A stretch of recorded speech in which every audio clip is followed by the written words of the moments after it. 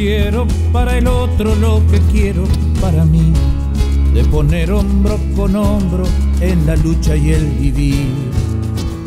Yo soy parte del satsai, porque somos militantes de justicia y equidad, y el trabajo es que esas voces también se hagan escuchar y porque es nuestra bandera defender la dignidad. Compañeros del Satsai.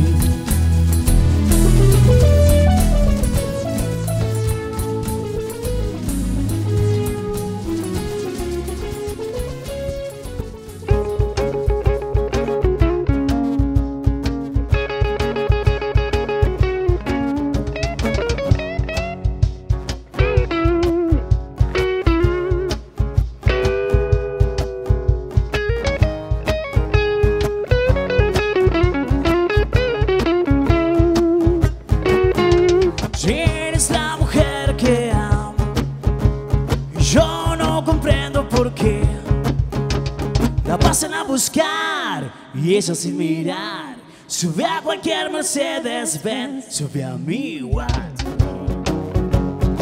Sube a mi Watt Sube a mi Watt y olvida los Mercedes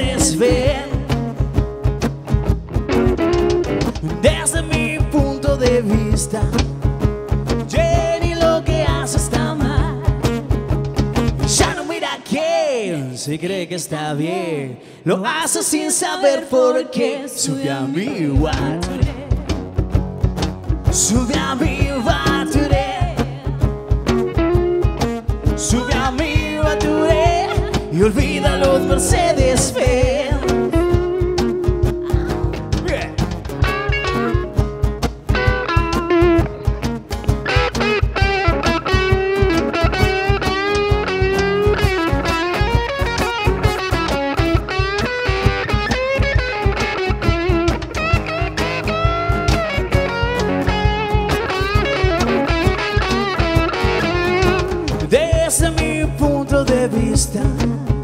Jenny, lo que hace está mal.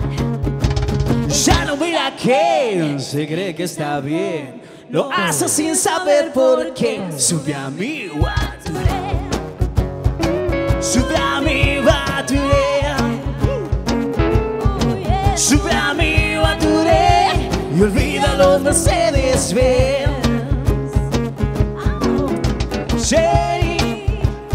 pasan a buscar. Jerry. Y eso sin mirar, Jerry. Sube a cualquier Mercedes Benz. Sube a mi Baturé y olvida un Mercedes Benz. Jerry, la pasan a buscar.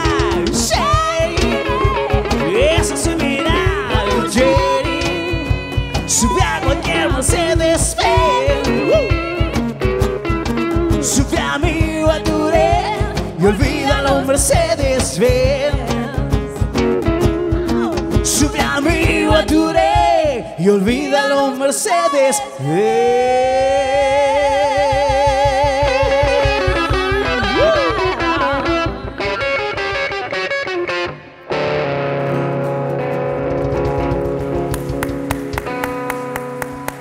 Qué bueno, qué bueno, qué bueno. Fuerte el aplauso para José Fernández y toda su banda y este tributo a Papo que de hecho nos va a seguir haciendo en Imagen de Trabajo. Bienvenido formalmente a ustedes a Imagen de Trabajo, el programa del Sindicato Argentino de Televisión. Por la pantalla de 24 nos encontramos, por supuesto, como todos los domingos. Y en este caso, bueno, se habrán dado cuenta, ¿no? Hay animales, hay restos fósiles. Estamos en el Museo Argentino de Ciencias Naturales, el más importante del país. Bueno, el museo se llama Bernardino Rivadavia y vos sabés que está en el Parque Centenario. Es el principal museo de la República Argentina. Está en el Parque Centenario en el barrio porteño de Caballito. Y en el año 2012 el museo cumplió 200 años de historia. De hecho, hay un paseo del Bicentenario aquí. Bueno, actualmente el museo es unidad ejecutora del Consejo Nacional de Investigaciones Científicas y Técnicas del CONICET dependiente del Ministerio de Ciencia, Tecnología e Innovación Productiva.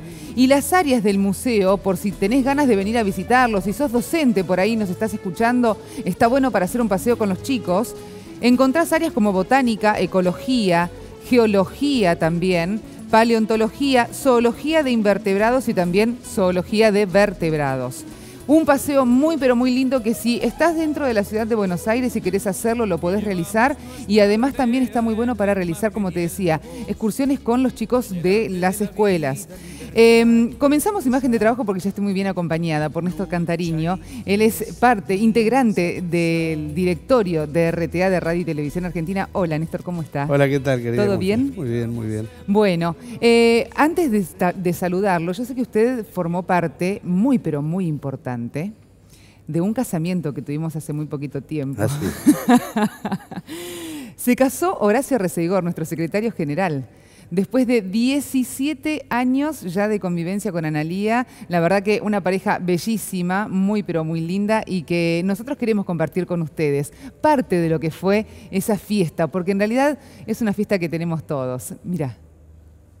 Puedo no roncar por las mañanas, puedo trabajar de sol a sol, puedo subirme hasta el Himalaya o batirme con mi espada para no perder tu amor. Puedo ser tu fiel chofer, mujer, todo lo que te imaginas puedo ser. Y es que por tu amor volví a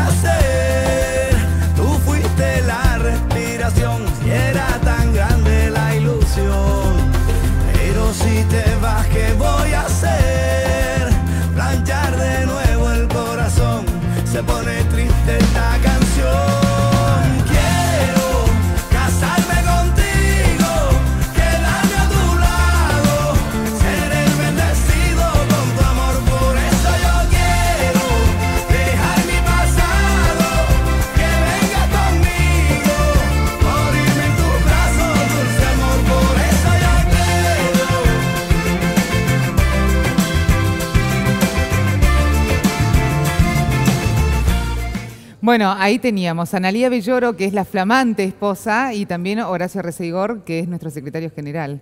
¿Por qué tuviste mucho que ver? Bueno, él dice que yo le aconsejé con demasiada firmeza quizás que era bueno que se casara. Estamos en momento ya. llegó el momento de concretar. sí, pero bueno, son una pareja macanuda y, los queremos mucho a los dos y nos alegramos mucho de que finalmente como Horacio era soltero, no tuvo ningún problema en casarse. Tal cual, tal cual. Bueno, y así sellaron el amor. Eso es lo más importante. Que es lo más importante. Esos son eventos que tienen que ver más con esta cuestión de, eh, bueno, sociales y que nos une un poco a todos. Es una excusa para juntarnos a festejar alguna cuestión como esta que, que todos estábamos esperando. Tal cual, tal cual. Bueno, otra de las cosas que también nos une a todos, que no es tan grata como un casamiento, pero que sí tenemos que hablar y no dejar de alto, ¿no? No, poder pasar de alto, que tiene que ver con los despidos, Néstor. Sí, estamos muy preocupados porque estamos teniendo muchos despidos. Bueno, esto era algo que nosotros se lo decíamos a los trabajadores antes de las últimas elecciones, que un cambio de gobierno era un cambio de política y las políticas definen cómo vamos a vivir, ¿no? Y los políticos y las ideologías definen cómo vamos a vivir. Y ya empezamos, ya tuvimos despidos en, en Canal 9, tenemos despidos en PPT, una productora, tenemos despidos en CN23 y tenemos una situación muy compleja en 360. Y bueno, a partir de este último fin de semana también nos estamos preocupando por el futuro de Telefe Canal 11, porque al haber sido adquirido por Turner, este, ahí hay muchos trabajadores, hay alrededor de 1.500 trabajadores y, ya empezamos a tener en los últimos tiempos la falta de ocupación plena. Y eso habla de que probablemente el, cambio de propietario produzca un cambio en el sistema de producción y eso siempre nos preocupa a los trabajadores.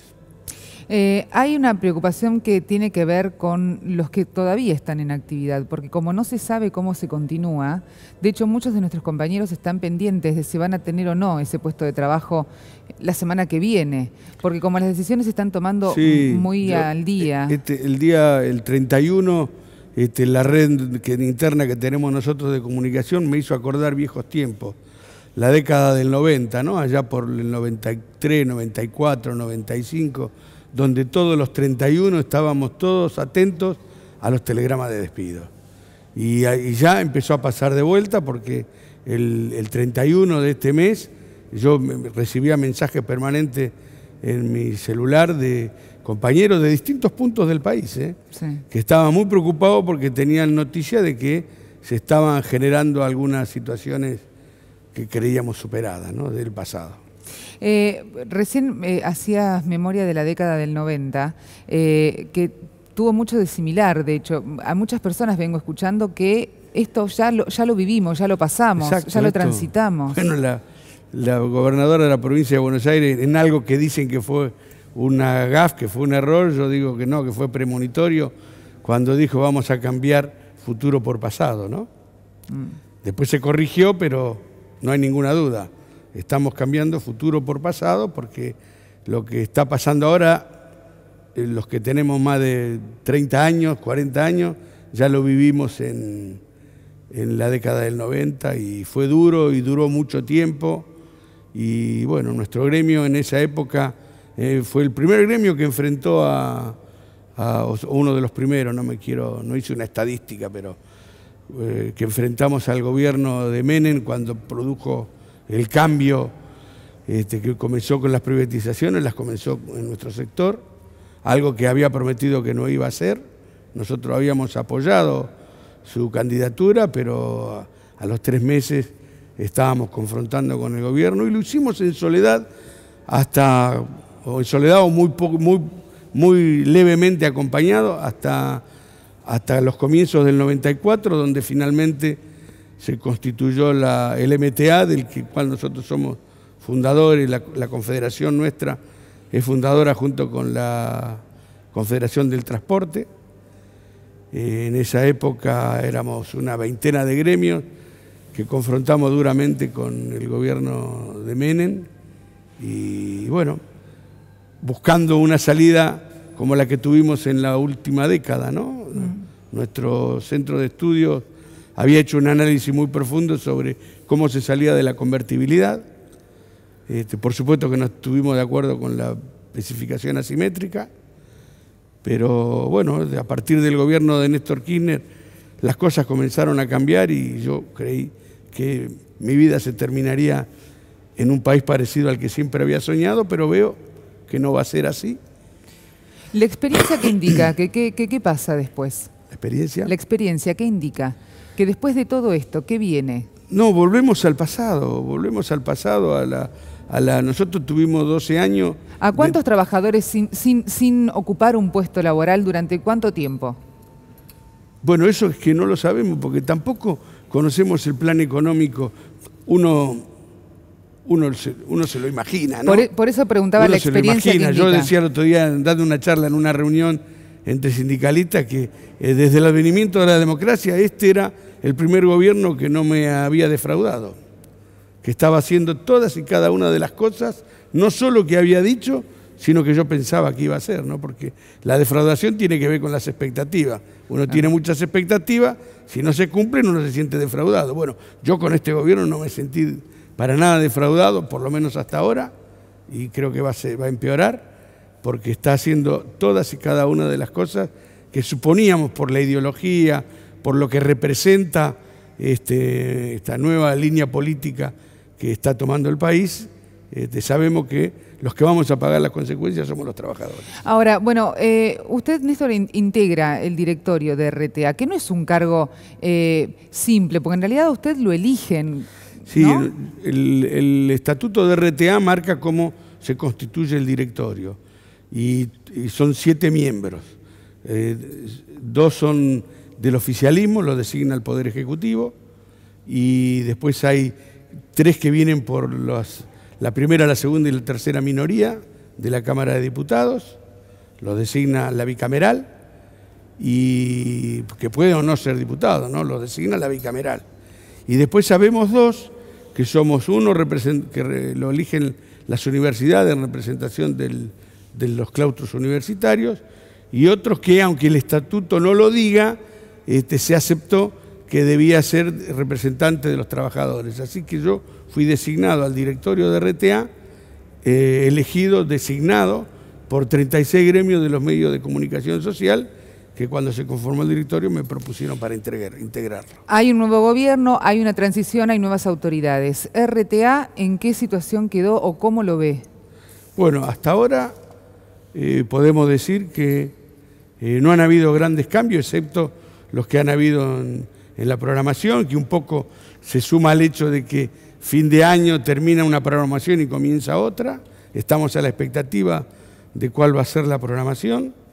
Este, en, Radio Nacional, bueno, pasó lo que, porque RTA incluye, en, el, estatuto de RTA incluye en, la, estructura a dos canales de televisión, que es el 7 de Buenos Aires y el 12 de Trenquelauquen. Y después a Radio Nacional con su cabecera en Capital Federal y las 48 eh, provinciales, ¿no? que, están, que son de Radio Nacional y que están distribuidas a lo largo y a lo ancho del país. En Radio Nacional sí han habido más cambios, eso la nueva eh, directora de Radio Nacional, la señora Herchinson, hizo un cambio bastante drástico de la programación y han habido algunos problemas, algunos este, despidos de periodistas.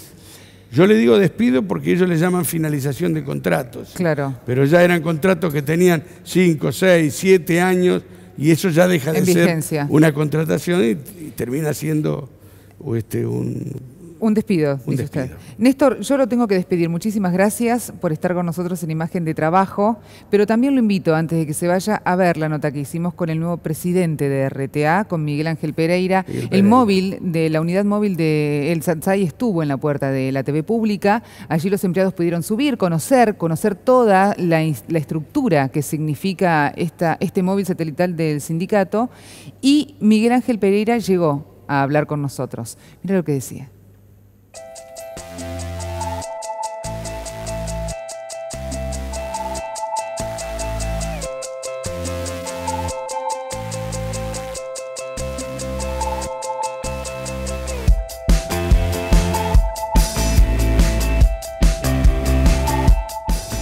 Encontramos con el nuevo director de Radio y Televisión Argentina, RTA, Miguel Ángel Pereira. Hola Miguel Ángel, gracias por recibirnos en Canal 7 y además también el móvil satelital, ¿no? para que todos los compañeros lo conozcan. No, bienvenidos, un gran gusto de tenerlos y sobre todo la, gente que es el corazón de esta sociedad del Estado, que es RTA, este, con la grata sorpresa de encontrarlos acá con su móvil y con la grata sorpresa de la de la gran acción social que llevan a cabo en las distintas provincias argentinas. ¿no? Yo como provinciano que soy jujeño, esto es algo que se agradece, porque toda la gente dedicada al audiovisual en la República Argentina adolece de capacitación muchas veces, tiene que ser siempre la capital federal. Así que se traslade un móvil con todo el esfuerzo que significa físico, económico y de tiempo a las provincias es algo para agradecer realmente. ¿Cuáles son las perspectivas con el cambio de gobierno y esta transición y la nueva programación? ¿Cuáles son las perspectivas que se tienen? Acá se pensó que al haber un cambio de administración iba a haber un cambio de muchísimas cosas, pero la verdad que la filosofía que tenemos nosotros es construir sobre lo construido. Acá hay mucho ya construido con cosas muy buenas sobre las cuales hay que adaptar ciertas cosas, o a veces darles un nuevo rumbo. ¿Qué va a pasar con el contenido, con la danza, con el arte, con el teatro? ¿La programación va a tener contenido? ¿Se va a armar dentro del canal el contenido? ¿Van a llevar producciones independientes? ¿Ya hay un esquema para eso?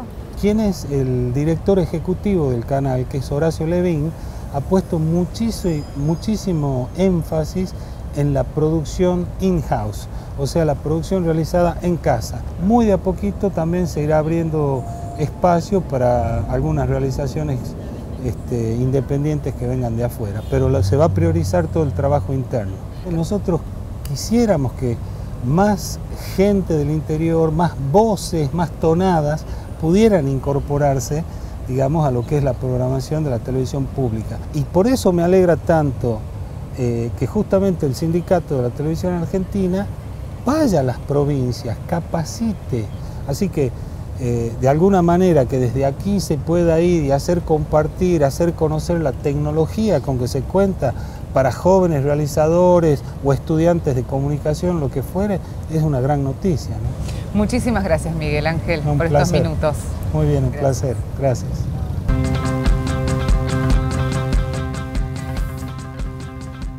Bueno, ahí entonces veíamos al presidente de, al nuevo presidente flamante de RTA, pero ahora en el living de imagen de trabajo llegó un actor, director ultra reconocido, gran baluarte que tiene nuestra ficción y también el teatro.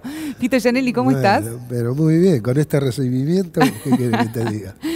Bueno, eh, recién eh, fuera de aire estábamos hablando si vos ya eras actor en la época del proceso, esa época nefasta estaba, de la Argentina. Estaba ahí dando mis primeros pasos. Bueno, yo te invito a ver un, tape que tenemos, porque se cumplieron los 40 años del golpe cívico-militar, esa parte negra de nuestra historia, tremenda. E Imagen de Trabajo lo quiere recordar de esta forma. Comunica a la población que a partir de la fecha el país se encuentra bajo el control operacional de la Junta Militar. Firmado Jorge Rafael Videla, Teniente General, Comandante General del Ejército.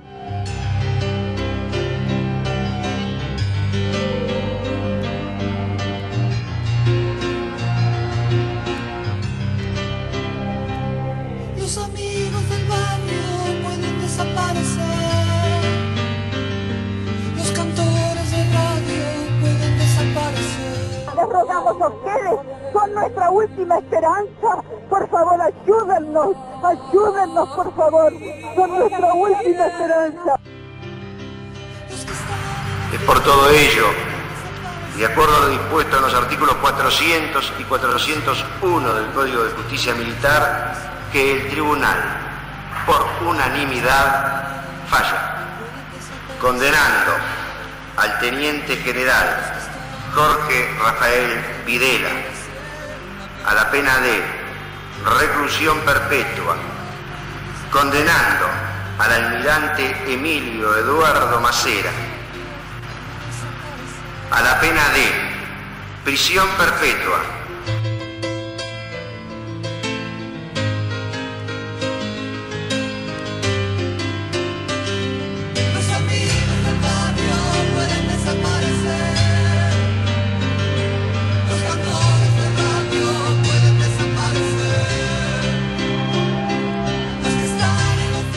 quiero renunciar expresamente a toda pretensión de originalidad para cerrar esta requisitoria. Quiero utilizar una frase que no me pertenece, porque pertenece ya a todo el pueblo argentino. Señores jueces, nunca más. Silencio en la sala. Silencio.